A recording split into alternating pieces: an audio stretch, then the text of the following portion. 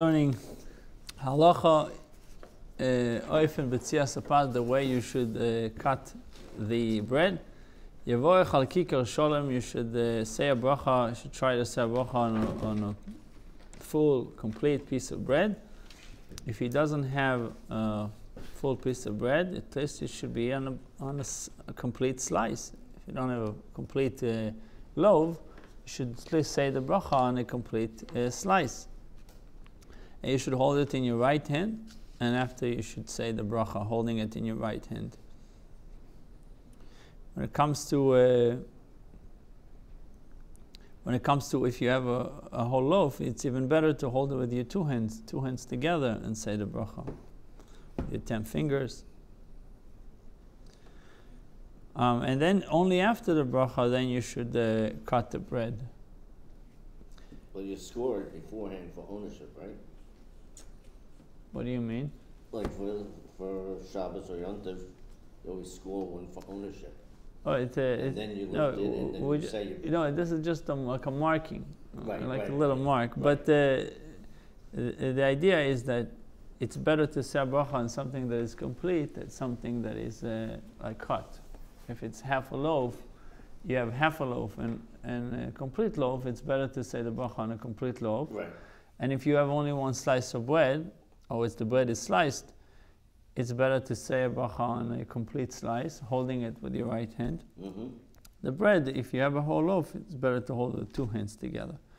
Um, because of the, because of honoring the, the blessing, he has to uh, start to cut the loaf in a place where it's uh, baked, uh, it's, it's baked better. So if you see an area that it's, it's better baked than the other, then you should choose, you should go for that area. Better But bake. everything to Like you're looking more crispy, uh, uh, cut uh, the looking, looking baked. better. the- the Right. but everything to the right is more holier. you know, Right, but, on uh, but so, so uh, you, you should position it to begin with that it should be on the right, the size that, that That's is, the uh, piece you that use is the most baked.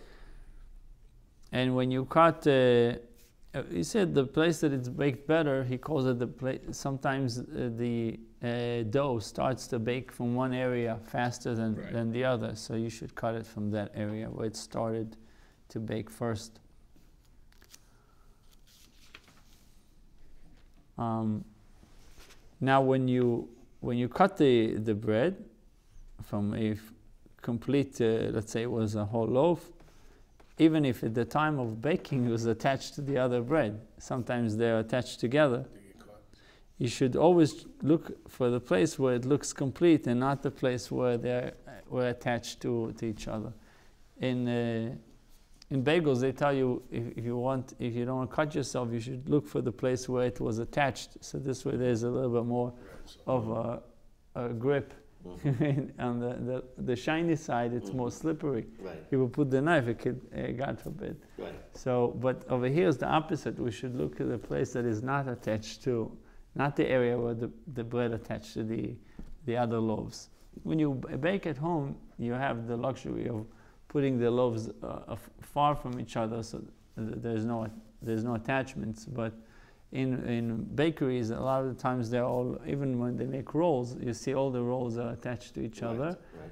and then they just separate them. Mm-hmm. So i i in truth, is it a full, uh, co- even a complete loaf? It looks like a complete loaf, but it could be not because it was attached to the other, the other loaf, and it was separated before.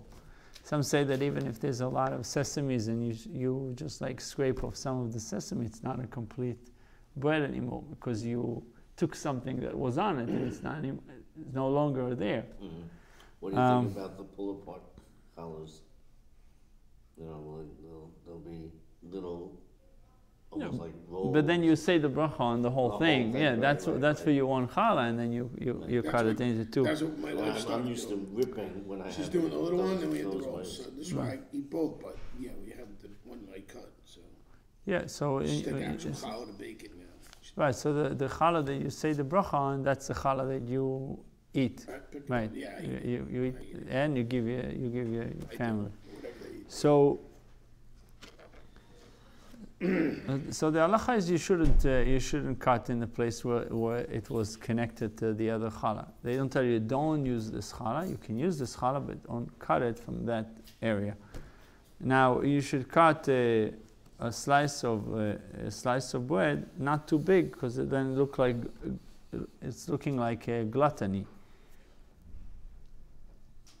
So what is the uh, what is the normal size? It tells you that it's uh, the size of an egg without its shell. And from this uh, slice, you can cut a smaller piece, like a size, a size of a half a kazait, and it shouldn't looking like he's too uh, cheap at the same time. So you have to find like the middle ground, not too big and not too small. Uh, if it's a sudat mitzvah, if it's a, a festive meal, and for the sake of a mitzvah, then you should cut a big piece. Uh, our custom is to dip the bread three times in the salt, and not to shake off the salt from the bread. Only three times. Uh, one second, but halachically, today, he doesn't have to wait. Uh, when he says the bracha, he doesn't have to wait uh, to the salt. He can say the bracha even before dipping the salt. Because today, they're adding uh, salt to bread anyway. Mhm. There is salt uh, embedded in the, in the dough. And when you eat, you already have the flavor of, of the uh, salt. Mhm. But if you want, you're allowed to wait until they, they bring uh, salt to the table. You're allowed to wait. If there's no salt on the table and you said, I'm waiting lechem and haaretz, you're allowed to wait until they bring you the salt. Right. If uh, someone that uh, you pointed to someone or you, you asked someone to bring the salt, obviously not with your mouth, if you said the bracha. If you didn't say the bracha, obviously you can wait for it. My cousin in Israel, he says, doesn't, it's the word is the rabbi, he said, he doesn't ever ask for anything. He says, whatever they serve him, they give him, he doesn't ask. You know, he does Shabbos, he doesn't ask for nothing. He said, whatever they give me, I eat whatever, I I don't even ask for nothing on Shabbos. So, Right. uh, Give him a fish, give him the bread. I know what I'm saying for you, you and your family. I'm not talking about you, No. you're, be, uh, being No. hosted by someone, but Yeah. uh, you and your family. that's just his, Yeah. what he does, doesn't ask for nothing. Right. They Yeah, give but it's better to have one big loaf more. Or two slices. Is two Two loaves better than one loaf? Or, or would, would, would, would two slices be better than one loaf? And what No, for the two- Shabbos, Shabbos two two loaves is the is the right way to go, and uh, regular day when you say bracha on a piece of bread, if you have a, a roll or something that is complete, it's better than something that is sliced. If you have a com- full piece, full piece of bread, a whole loaf, you can say bracha on it and then cut uh, the slice. If it's already sliced, it's sliced. And then you also have elevation of. The idea is to hold it with your right hand. Is there a thing about tearing? Is it cutting in the midst of cutting the loaf? the There, there are first cut? different customs. Some, some some have to some have the custom not to use a knife. Some have the custom to use to, to, to rip like it with their hands. personally, yeah. Some do it with their hands, and, and some do some use a knife that is non-serrated, because it's considered like a, Right. A destroying uh, a destroying instrument. So they use a knife that is not non-serrated. I use a knife. My father used the knife, and I use a knife. It's all right. Is Yeah. it, is it serrated? No, No, not serrated? no. Not, no, It's most really knives- Most of the cutting boards have straight knives I've ever seen. I don't remember. Yeah, you can get one. Yeah. Uh, not here, but you can find it. You can find s- some knives that are non-serrated. But then you also have other elevations. The more like, if you're doing Shabbos by yourself, the better off having some guest come over Yes, of and course. hear the blessing. You get the amen, You get the zimun, you can do a zimun. right?